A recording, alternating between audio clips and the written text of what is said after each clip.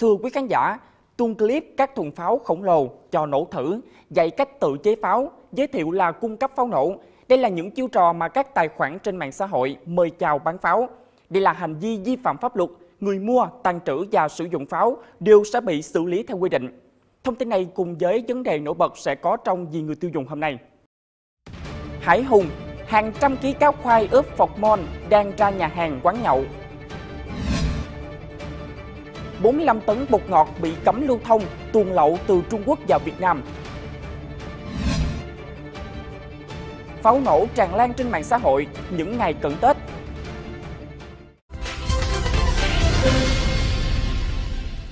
Để hấp dẫn thực khách bằng tiêu chí giá rẻ đồ ngon, nhiều gian thương sẵn sàng lên đời cho các món hải sản quá đắt bằng hóa chất độc hại. Công an tỉnh Thanh Hóa đang tiếp tục làm rõ vụ việc một chiếc xe tải vận chuyển 250 kg cáo khoai được ướp hóa chất chống thối đưa từ Quảng Bình ra thành phố Thanh Hóa, tỉnh Thanh Hóa bán cho người dân. Qua đây, dư luận lại dấy lên lo lắng khi sức khỏe của con người đang bị ăn mòn vì tiểu xảo của người kinh doanh. Trên tuyến đường tránh quốc lộ 1A đoạn qua địa bàn phường Quảng Thành, thành phố Thanh Hóa, lực lượng công an tỉnh này phát hiện bắt quả tang xe tải do chủ Hồng Ngọc ở phường Quảng Vinh, thành phố Sầm Sơn điều khiển, có hành vi vận chuyển thực phẩm bẩn. Kiểm tra trên xe tải, công an phát hiện 25 thùng cá khoai có tổng trọng lượng 250 kg. Qua test nhanh của cơ quan chức năng, cho kết quả toàn bộ số cá khoai này đều dương tính với chất phạt mon. Đây là một loại hóa chất chống thối bị cấm dụng trong sản xuất, bảo quản và chế biến thực phẩm. Bước đầu tài xế Ngọc khai nhận toàn bộ số cá khoai này được mua từ tỉnh Quảng Bình rồi đưa về bán lại cho các tiểu thương ở chợ trên địa bàn thành phố Thanh Hóa. Cận Tết Nguyên đán, khối lượng thực phẩm cung cấp cho thị trường có thể tăng gấp từ 30 đến 40% so với ngày thường. Đây được coi là thời điểm để thực phẩm bẩn có cơ hội xâm nhập vào thị trường. Do đó, người tiêu dùng phải hết sức cẩn trọng để không trở thành nạn nhân của những vụ ngộ độc thực phẩm dịp cuối năm. Thưa quý vị, ngộ độc thực phẩm ngoài việc ăn phải các loại thực phẩm không rõ nguồn gốc, còn đến từ việc thức ăn được bảo quản không đúng cách. Chưa rõ nguyên nhân gì, mới đây, 7 học sinh tại một trường tiểu học thuộc huyện miền núi Quế Phong, tỉnh Nghệ An có biểu hiện bị ngộ độc sau khi cùng ăn sáng tại một điểm bán hàng gần trường. Sau khi ăn sáng với các món gồm xôi, trứng, ruốc bông, bánh mì pate tại một quầy hàng trước cổng trường, 7 học sinh đều có biểu hiện chung của ngộ độc thức ăn như đau bụng dữ dội, nôn mửa, qua mắt, chóng mặt. Sau khi thăm khám sử dụng các biện pháp cấp cứu, sức khỏe các em đã ổn định. Trung tâm Y tế huyện Quế Phong cũng đã cử trưởng khoa an toàn thực phẩm đến tại quán ăn để lấy mẫu và xác minh cụ thể nguyên nhân xảy ra ngộ độc. Hàng hóa có nhãn mát rõ ràng và đạt chất lượng thường được bày bán ở những chuỗi cửa hàng lớn, siêu thị. Nhưng còn một bộ phận lớn hộ sản xuất theo kiểu 30, đó là không bao bì, không nhãn mát, không hàng sử dụng, thường sẽ bỏ mối cho các tiệm tạp hóa, chợ dân sinh. Những loại bánh mứt kiểu này tiềm ẩn nguy cơ gây mất an toàn cho người tiêu dùng. Tuy vậy, việc kiểm soát là không dễ, ghi nhận của cộng tác viên chương trình ở thành phố Hồ Chí Minh. Tại các chợ như An Đông, quận 5, chợ Bến Thành ở quận 1, từng dãy lớn san sát chừng bán hàng chục loại mứt Tết như mứt dừa, mứt bí, trái cây có giá từ 120 đến 250 ngàn đồng một ký tùy loại. Tuy nhiên, các sản phẩm này phần lớn đổ đóng để bán hoặc đóng bịch hồ sơ, không nhãn mát, không hạn sử dụng. Ban quản lý an toàn thực phẩm thành phố Hồ Chí Minh cho biết đã tăng cường lấy mẫu kiểm tra thực phẩm tại chợ siêu thị, đặc biệt chú trọng bánh mứt. Tuy nhiên, việc lấy mẫu phần lớn chọn lọc nguy cơ, không thể bao quát. Vì thế, người dân nên chọn mua sản phẩm uy tín để tránh nguy cơ ngộ độc.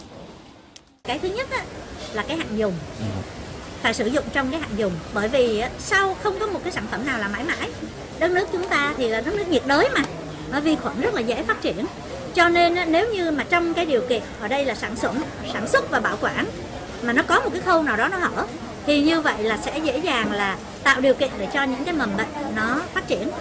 Rồi cái nguy cơ thứ ba đó là cái nguy cơ là có những hóa chất độc hại không được phép mà trà trộn vào trong cái sản phẩm này vì mục tiêu là lợi nhuận.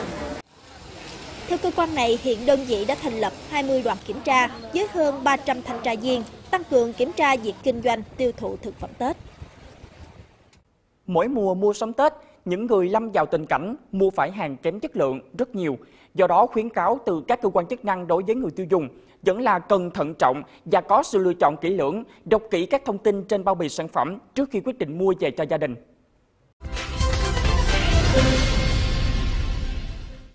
Ngành chức năng liên tục khuyến cáo với các loại bột ngọt giả không xuất xứ nếu ăn phải có thể buồn nôn và đau đầu, thậm chí tích tụ độc chất gây nguy hại về sau. Người tiêu dùng thì đã ý thức được việc này nên vẫn luôn cảnh giác với gia vị giả, nhưng điều này vẫn chưa đủ khi mà các đối tượng buôn lậu vẫn luôn tìm cách tuồn hàng vào thị trường nội địa. Mới nhất, ngành chức năng của thành phố Hồ Chí Minh đã phát hiện đến 45 tấn bột ngọt nghi là nhập lậu. Cục Quản lý thị trường thành phố Hồ Chí Minh cùng cán bộ Ủy ban nhân dân phường Bình Trị Đông A, quận Bình Tân vừa bất ngờ kiểm tra hai kho hàng trên địa bàn. Qua đó phát hiện gần 2.000 bao bột ngọt bao bì hai con tôm loại 25 kg, bề mặt bao bì toàn tiếng nước ngoài không có tiếng Việt, ước tính khoảng 45 tấn. Tại thời điểm kiểm tra, chủ lô hàng không xuất hiện nên toàn bộ số bột ngọt tại đây đều không có hóa đơn chứng từ mua bán nguồn gốc xuất xứ. Theo tìm hiểu, loại bột ngọt này không được lưu hành trên thị trường Việt Nam, ước tính toàn bộ lô hàng gần 1 tỷ đồng. Còn đây là hiện trường làm thuốc bảo vệ thực vật giả vừa bị cơ quan chức năng thành phố Hồ Chí Minh bắt quả tang. Nếu không bị chặn đứng thì những hóa chất không được kiểm định này sẽ hủy hoại môi trường và cả sức khỏe của con người khi mà tiêu thụ nông sản. Liên quan đến hành vi này, cơ quan công an đã ra quyết định tạm giữ đối với 6 người để mở rộng điều tra. Nhận được tin báo, Công an thành phố Hồ Chí Minh phát hiện Trần Thiện Giác, thường trú ở An Giang, có hành vi vận chuyển số lượng lớn thuốc bảo vệ thực vật giả trị giá khoảng 50 triệu đồng. Qua đấu tranh, Giác khai nhận từ tháng 11 năm 2020 đã được một người tên Nguyễn Quốc Thắng thuê sản xuất thuốc bảo vệ thực vật giả tại hai địa chỉ trên địa bàn huyện Bình Chánh và huyện Cần Duộc, Long An với giá thành phẩm 180.000 đồng một thùng. Từ lời khai này, công an thành phố Hồ Chí Minh kiểm tra hai cơ sở và bắt quả tang Thắng cùng bốn người khác đang sản xuất lượng lớn thuốc bảo vệ thực vật giả. Tại đây, công an tạm giữ hơn 3.000 gói chai thuốc bảo vệ thực vật giả với nhiều nhãn hiệu khác nhau, ước tính trị giá hơn 800 triệu đồng. Thu lợi bất chính từ buôn bán hàng giả, gian lận thương mại là vi phạm pháp luật sẽ bị xử lý theo quy định. Nhưng do món lợi quá lớn nên nhiều người vẫn làm liều, từ thực phẩm, hàng tiêu dùng, thuốc dùng trong sản xuất cho tới những vật dụng giúp bảo vệ tài sản cũng bị làm giả. Gần 40.000 bộ khóa giả và các phụ kiện cửa vừa bị Công an thành phố Hà Nội thu giữ tại công ty do Lê Thị Tâm làm giám đốc, đều được gắn nhãn mát Kinh Long. Thế nhưng sau khi kiểm tra, đại diện công ty trách nhiệm hữu hạn Kinh Long Việt Nam khẳng định đây không phải sản phẩm do công ty này nhập khẩu phân phối tại Việt Nam. Lợi nhuận cao trong khi các chi tiết làm giả giống hệt như thật khiến cho người mua không thể phân biệt, còn người bán lại dễ dàng trà trộn để kiếm lời. Theo cơ quan công an, số hàng giả này do các đầu nậu ở trong nước đặt sản xuất tại nước ngoài chế mẫu mã y như hàng thật, sau đó nhập lậu về Việt Nam để tiêu thụ. Tổng giá trị hàng hóa bị cơ quan chức năng thu giữ lên tới hơn 1 tỷ đồng.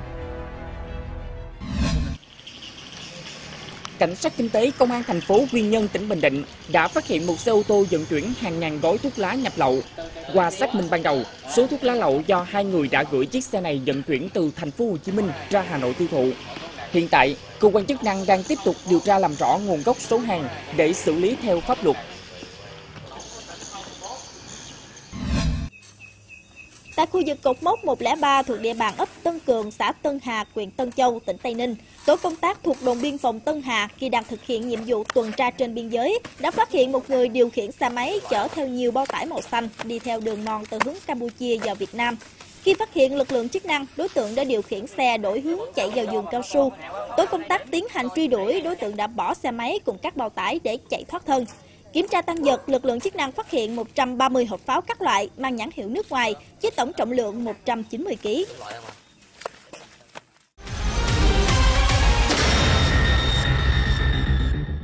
Thưa quý vị, càng gần Tết, tình trạng buôn bán vận chuyển pháo nổ càng phức tạp, nóng trên các tuyến biên giới và cả trên mạng xã hội. Dù là mặt hàng cấm, nhưng chợ pháo vẫn hoạt động trầm rộ. Chỉ cần gõ từ khóa pháo Tết 2021 hay pháo Tết không cọc 2021 trên mạng xã hội là hàng loạt hội nhóm, trang web từ lớn đến nhỏ hiện lên. Người dùng muốn mua bao nhiêu cũng có và hàng hóa cũng đa dạng, tha hồ cho khách hàng lựa chọn.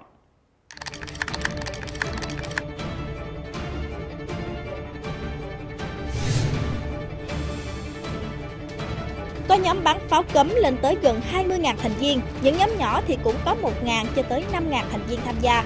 Tại đây, hình ảnh, video các loại hàng cấm này được đăng tải ngang nhiên kèm số điện thoại của bên chào mời. Khi khách hàng để lại bình luận ở các bài viết trong nhóm này thì cũng được các đối tượng cò mồi chủ động trao đổi. Người mua chỉ cần nhắn tin alo là được chào mời, báo giá và hướng dẫn tận tình. Liên hệ và được các chủ hàng quảng cáo tư vấn trực tiếp qua điện thoại. Alo chào anh. Alo. Ờ, ai nhỉ? Vâng anh ơi, mình ờ, có pháo bán đúng không anh nhỉ? Đúng rồi, nhưng bạn ra ở đâu? Em quê Hà Tĩnh ạ. Hà Tĩnh thì ừm, nếu thế thì anh gửi về Hà Tĩnh cho. Bây giờ dàn 36 của mình thì có bao nhiêu tiền anh? Bây giờ anh đang ờ, giá bây giờ nói chung là bây giờ nó cũng đang mắc. Thái thì bây giờ là 700. 700. 600 em ạ. Có hàng của anh hàng thật. Anh bán 4 năm nay thương hiệu rồi. Chắc là Vâng. em không biết đến anh đâu. Rồi Vâng. anh em các tỉnh 63 tỉnh biết hết là vì anh ờ, ở Bắc Nam anh đều có kho hết mà. Bây giờ hàng thì anh vẫn có. Đấy, chú lấy bao nhiêu số lượng anh vẫn có. Vâng vâng. Đấy. Vâng. Hàng ờ, chủ yếu là nếu mà lấy anh khuyết tật lấy hàng Thái vì hàng Thái nó bây giờ là năm nay nó nó đẹp lắm. Tiếng nổ của nó là sẽ nổ lanh như hàng Trung. Cái màu nước nó bắn lên ấy. Đại diện Cục An ninh mạng và Phòng chống tội phạm công nghệ cao Bộ Công an cho biết, hiện nay trên môi trường mạng tồn tại nhiều nhóm kín, nhóm công khai, đăng tin mua bán pháo nổ trái phép. Càng gần Tết Nguyên đán, hoạt động này diễn ra ngày càng nhiều. Thời gian qua, đơn vị và công an các địa phương đã đấu tranh các nhóm mua bán pháo trên thực địa, mạng xã hội, bắt khởi tố hàng chục vụ. Đồng thời, tăng cường quản lý nhà nước trên lĩnh vực thông tin truyền thông, yêu cầu các nền tảng cung cấp dịch vụ xuyên biên giới, loại bỏ các tài khoản vi phạm pháp luật, cung cấp dữ liệu cho cơ quan chức năng xác minh xử lý. Biết bao nhiêu vụ tai nạn thương tích, cháy nổ xảy ra do pháo, đó là lý do nó trở thành mặt hàng cấm mua bán, vận chuyển hay là tàn trữ. Người vi phạm sẽ bị xử lý theo quy định của pháp luật. Thông tin này xin được khép lại thời gian dành cho bản tin hôm nay. Xuân Hiền xin nói lời chào tạm biệt và hẹn gặp lại.